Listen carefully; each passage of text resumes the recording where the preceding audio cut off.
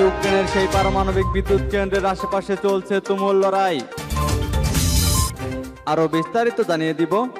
রাশিয়ার সেসব সেনাদের দেখে নেওয়ার হুমকি দিলেন জেলেনস্কি। কৃষ্ণ সাগর থেকে জ্বালানি উত্তোলন করলে আমরা শক্তিশালী হব, বলল এরদোগান।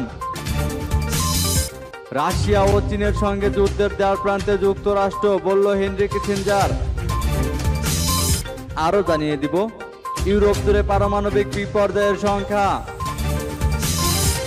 জেরুজালেমে বাসে বন্দুকধারীর হামলায় আহত আটজন।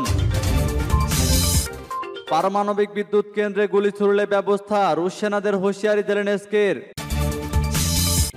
সর্বশেষে জানিয়ে দিব, আদিত্যনাথকে বোমা মেরে উড়িয়ে দেওয়ার হুমকি। শুনছিলেন সংবাদ শিরোনাম, এখন বিস্তারিত। তবে তার আগে অনুরোধ থাকবে ভিডিওতে একটি লাইক দিন এবং কমেন্টস করে জানিয়ে দিন আপনি কোন জেলা থেকে বা কোথায় থেকে আমাদের সাথে যুক্ত রয়েছেন এবং সংবাদের সর্বশেষ গুরুত্বপূর্ণ আপডেট পেতে চ্যানেলটি সাবস্ক্রাইব করে আমাদের সঙ্গেই থাকুন। ইউক্রেনের সেই পারমাণবিক বিদ্যুৎ কেন্দ্রের আশেপাশে চলছে তুমুল লড়াই। ইউক্রেনের ঝাপরিজিয়া পারমাণবিক বিদ্যুৎ কেন্দ্রের আশেপাশে তীব্র উত্তেজনা বিরাজ করছে। ইউক্রেনের কর্মকর্তারা রাশিয়ার বিরুদ্ধে বারবার ওই স্থাপনায় রকেট হামলা চালানোর অভিযোগ করেছে। এমন হামলা সেখানে পারমাণবিক দুর্ঘটনার হুমকি তৈরি করেছে। শনিবার বিদ্যুৎ কেন্দ্রটির পরিচালনাকারী সংস্থা এ তথ্য জানিয়েছে। খবর রয়টার্সের। তারা জানিয়েছে, স্থাপনাটির আশেপাশে গত সপ্তাহ থেকে রকেট হামলা বৃদ্ধি পাওয়ায় এটি এখন তেজস্ক্রিয়তা ও অগ্নি নির্বাপন ব্যবস্থাপনার মান লঙ্ঘনের ঝুঁকির মধ্যে রয়েছে। এটি ইউরোপের বৃহত্তম পারমাণবিক বিদ্যুৎ কেন্দ্র। ইউক্রেনের পারমাণবিক বিদ্যুৎ কেন্দ্র পরিচালনাকারী এনার্গা জানায়, নাইট্রোজেন অক্সিজেন স্টেশন ও অভ্যন্তরীণ সোয়ারেজ পাম্প করার স্টেশন এবং সম্মিলিত সহায়ক ভবনগুলো গোলাবর্ষণে গুরুতরভাবে ক্ষতিগ্রস্ত হয়েছে। এছাড়া এতে ব্যবহার করার জন্য রাখা সূক্ষ্ম পারমাণবিক জ্বালানি রক্ষণাবেক্ষণগারের আশেপাশে তেজস্ক্রিয়তার মাত্রা পর্যবেক্ষণের তিনটি সেন্সর ক্ষতিগ্রস্ত হয়েছে বলে জানায় এনার্গা অ্যাটম। এনার্গো অ্যাটম জানায় বিদ্যুৎ কেন্দ্রটির বাইরে অবস্থিত দমকল বাহিনীর উপরও হামলা চালানো হয়েছে। কর্মকর্তারা আরও জানান, একটি বৈদ্যুতিক ট্রান্সফরমারেও একটি গোলা আঘাত হানে, যার ফলে সারা দেশের বৈদ্যুতিক গ্রিড হুমকির মুখে পড়েছে। আন্তর্জাতিক পরমাণু শক্তি সংস্থার প্রধান বলেন, লড়াই বন্ধ না হলে এবং পরিদর্শকদের স্থাপনাটির ভিতরে প্রবেশ করতে দেওয়া না হলে সেখানে পারমাণবিক বিপর্যয়ের বাস্তব ঝুঁকি রয়েছে। বিদ্যুৎ কেন্দ্রটিতে হামলা চালানোর জন্য রাশিয়া ও ইউক্রেন পরস্পরকে দায়ী করছে। ইউক্রেনের কর্মকর্তারা বলেছেন, রুশ বাহিনী মারহানেটস শহরে অন্তত চল্লিশটি রকেট নিক্ষেপ করেছে।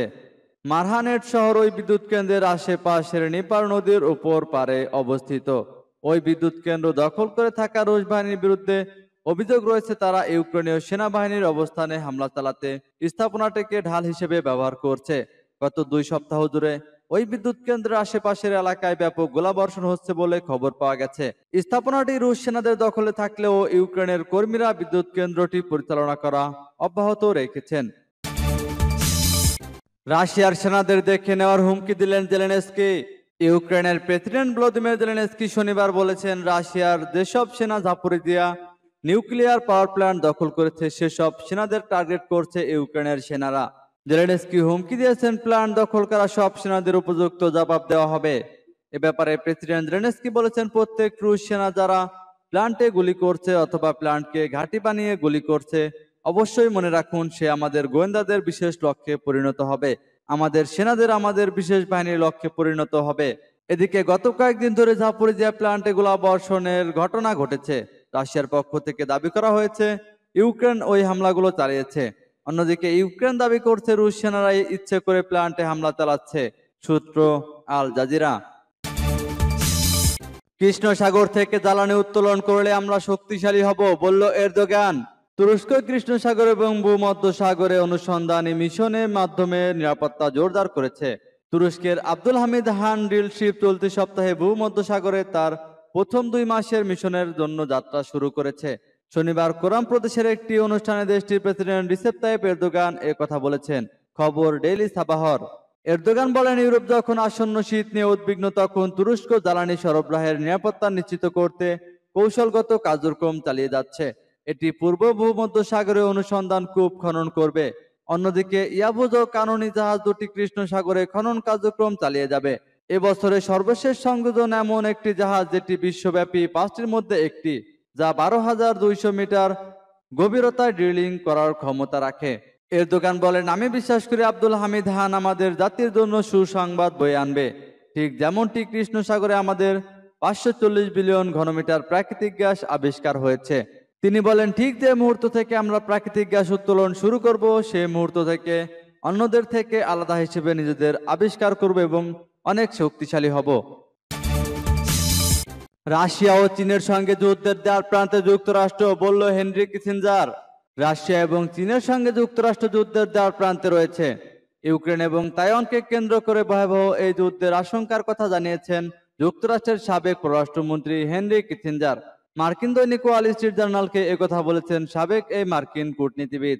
তিনি বলেছেন, স্বপ্নদ্রষ্টা নেতার অভাবে যুদ্ধের আশঙ্কা তীব্রতর হয়েছে। আমরা রাশিয়া এবং চীনের সঙ্গে যুদ্ধের দ্বার প্রান্তে রয়েছি যার সমস্যার অংশবিশেষ আমরা নিজেরাই তৈরি করেছি। অথচ এই ব্যাপারে আমাদের ধারণা নেই। এর সমাধান কীভাবে হতে পারে বা এই সমস্যা তৈরি করলে তা কোথায় যেতে পারে? এর আগে তিনি কিছু ভূমি পরিত্যাগ করে কিয়েভকে রাশিয়ার সঙ্গে চলমান যুদ্ধের অবসান ঘটানোর পরামর্শ দিয়েছিলেন। নিরানব্বই বছর বয়সী হেনরি কিসিঞ্জার সম্প্রতি একটি বই লিখেছেন যাতে দ্বিতীয় বিশ্বযুদ্ধ পরবর্তী গুরুত্বপূর্ণ নেতাদের জীবনী উঠে এসেছে। এই বইয়ে তিনি পরিষ্কার করে বলেছেন, গত ফেব্রুয়ারি মাসে রাশিয়া ইউক্রেনে যে সেনা অভিযান শুরু করেছে তা তার নিজের নিরাপত্তার উদ্বেগ থেকেই করেছেন। কারণ ইউক্রেন যদি ন্যাটো জোটে যোগ দেয়, তাহলে এই সামরিক জোটের অস্ত্র মোতায়েন হবে মস্কো থেকে মাত্র তিনশো মাইল দূরে। এখন পরিস্থিতি যা দাঁড়িয়েছে তাতে পুরো ইউক্রেনের কর্তৃত্ব রাশিয়ার অধীনে চলে যেতে পারে।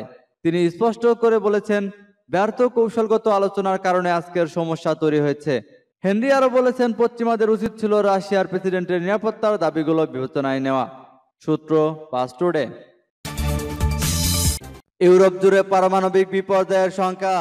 ইউক্রেনে ঝাপরজিয়া যা ইউরোপের সবচেয়ে বড় পারমাণবিক বিদ্যুৎ কেন্দ্র। এতে রুশ বাহিনীর হামলার পরিমাণ দিনে দিনে বেড়ে চলেছে। বিশেষজ্ঞদের অভিমত, এখনই কেন্দ্রটি পর্যবেক্ষণ জরুরি হয়ে পড়েছে। যে কোনো সময় এখানে একটি বড় আকারের বিপর্যয় ঘটতে পারে, যা কিনা পুরো ইউরোপে প্রভাব ফেলবে।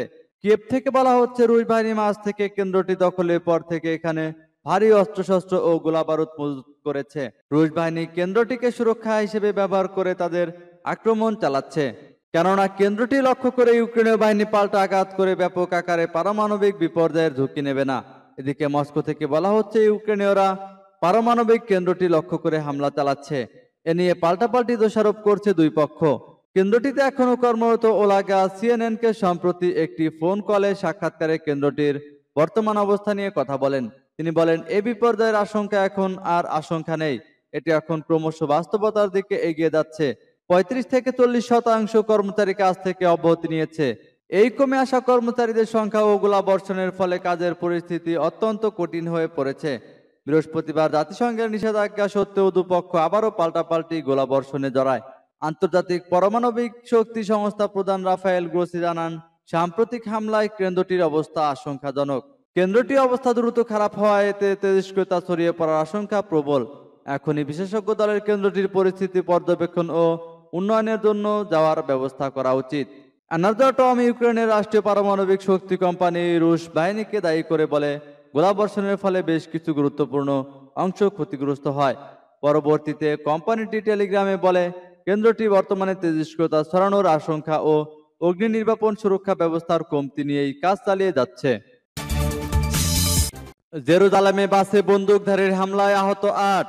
ইসরায়েলের জেরুজালেমের শহরে ওল্ড সিটি এলাকায় একটি বাসে বন্দুকধারীর হামলায় কমপক্ষে আটজন আহত হয়েছে। ইসরায়েলে শনিবার দিবাগত রাতে ওই হামলার পর এক বন্দুকধারীকে খুঁজছে দেশটির পুলিশ। খবর আল জাজিরার। ইসরায়েলের চিকিৎসক ও পুলিশের বরাতে প্রতিবেদনে বলা হয়, আহত ব্যক্তিদের মধ্যে দুজনের অবস্থা সংকটাপন্ন। বাসটি ওয়েস্টার্ন ওয়েলের কাছে একটি পার্কিং লটে দাঁড়ানো ছিল। ইসরায়েলি যাত্রীরা বাসটি ছাড়ার অপেক্ষায় এর ভেতরে অবস্থান করছিল। স্থানীয় সংবাদপত্র টাইমস অফ ইসরায়েলের তথ্য অনুযায়ী, আহত ব্যক্তিদের মধ্যে পঁয়ত্রিশ বছর বয়সী এক অন্তঃসত্ত্বা নারীও আছেন। ওই এলাকার একটি পার্কিং লটে দ্বিতীয় বন্দুক হামলা হওয়া খবর প্রকাশ করেছে সংবাদপত্রটি। তদন্ত শুরু করতে ইতিমধ্যে সংশ্লিষ্ট দলকে ঘটনাস্থলে পাঠিয়েছে ইসরায়েলি পুলিশ। পুলিশ বলছে, একটি বাসে বন্দুকধারীর হামলা হয়েছে বলে খবর পাওয়ার পর তারা সেখানে গিয়ে ঘটনাস্থল ঘিরে ফেলে এবং সন্দেহভাজনকে খুঁজতে থাকে। হামলার পর সন্দেহভাজনকে খুঁজে পেতে সিলোয়ান এলাকার কাছে অভিযান চালাচ্ছে ইসরায়েলি পুলিশ। ইসরায়েল অধিকৃত পূর্ব জেরুজালেম থেকে আল জাজিরার প্রতিনিধি নাতাশা গনিম বলেন, ইসরায়েলি বাহিনী ওই এলাকায় বাড়িঘরে অভিযান চালাচ্ছে এবং সন্দেহভাজনের সঙ্গে সম্পর্কিত মানুষদের আটক করছে। তার ভাষ্য, পুলিশ সিলোয়ানে বেশ কয়েকটি বাড়িতে অভিযান ও ধরপাকড় চালাচ্ছে। তাদের মধ্যে দুজন নারী সন্দেহভাজনের সঙ্গে তাদের সম্পর্ক থাকতে পারে।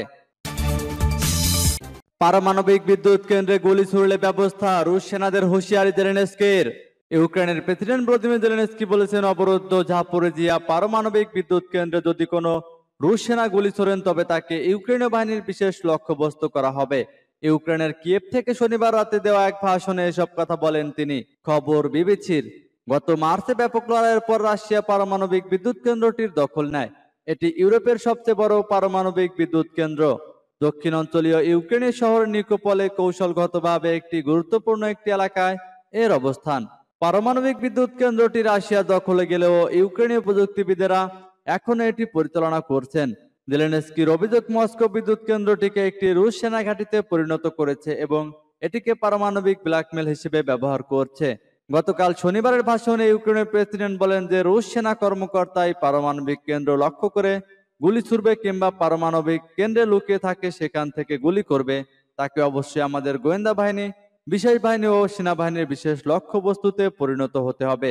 চলতি সপ্তাহের শুরুর দিকে পারমাণবিক কেন্দ্রটিকে লক্ষ্য করে গোলা হামলা হয়েছে। এর জন্য মস্কো ও কিয়েভ থেকে অপরকে দায়ী করেছে। জেলেনস্কি বলেন, পারমাণবিক বিদ্যুৎ কেন্দ্রে গুলি ছোড়ার মধ্য দিয়ে ধারাবাহিকভাবে উস্কানি দিয়ে যাচ্ছে রাশিয়া। এটিকে ঘাঁটি হিসেবে ব্যবহার করে রুশ বাহিনী নিকোপল এবং পার্শ্ববর্তী শহর ম্যারগানচ্ছে গোলা হামলা চালাতে পারে। ভারতের আদিত্যনাথকে বোমা মেরে উড়িয়ে দেওয়ার হুমকি ভারতের উত্তরপ্রদেশের মুখ্যমন্ত্রী যোগী আদিত্যনাথকে বোমা মেরে উড়িয়ে দেওয়ার হুমকি দেওয়া হয়েছে। এই প্রাণনাশের হুমকির অভিযোগে এক ব্যক্তির বিরুদ্ধে এফআইআর দায়ের করেছে রাজ্যের পুলিশ। উত্তরপ্রদেশ পুলিশ সূত্রে খবর, মুখ্যমন্ত্রী ছাড়াও ভারতীয় কিষাণ মঞ্চের জাতীয় সভাপতি তথা জনস্বার্থ মামলাকারী দেবেন্দ্র তেওয়ারিকে বোমা মারার হুমকি দেওয়া হয়েছে। ভারতীয় সংবাদ মাধ্যমের খবরে বলা হয়েছে, শুক্রবার দেবেন্দ্র তেওয়ারির আলামবাগের বাড়িতে একটি চিঠি পৌঁছায়। তাতে দেবেন্দ্র ও উত্তরপ্রদেশের মুখ্যমন্ত্রীকে প্রাণে মেরে ফেলার হুমকি দেওয়া হয়। উত্তরপ্রদেশে কসাইখানা বন্ধের নির্দেশের পরিপ্রেক্ষিতে এই হুমকি দেওয়া হয়েছে। ওই চিঠি নিয়ে তড়িগড়ি পুলিশের দ্বারস্থ হন দেবেন্দ্র। এরপর তদন্তে নেমে সলমন সিদ্দিকী নামে এক ব্যক্তির বিরুদ্ধে এফআইআর করেছে পুলিশ। বেআইনি কসাইখানা ও গরু পাচার বন্ধের জন্য রাজ্য পুলিশকে সম্প্রতি অ্যাকশন প্ল্যান তৈরির নির্দেশ দিয়েছে যোগী। তারপর সরকারের নির্দেশ মেনে বন্ধ করে দেওয়া হয়েছে রাজ্যের একাধিক মাংসের দোকান। শুরু হয়েছে প্রতিবাদ এবং ধর্মঘট কর্মসূচি। কসাইখানা বন্ধের দাবিতে জনস্বার্থ মামলা করেছিলেন দেবেন্দ্র। সেই রেশে এই হুমকি ও চিঠি বলে জানিয়েছে উত্তরপ্রদেশ পুলিশ।